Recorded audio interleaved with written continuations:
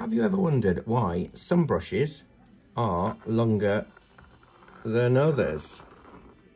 Well, the longer handled brushes tend to be oils and some acrylics. And it's basically because historically people would hold them further towards the back so they could put some distance between the canvas and themselves so they could see more of the bigger picture.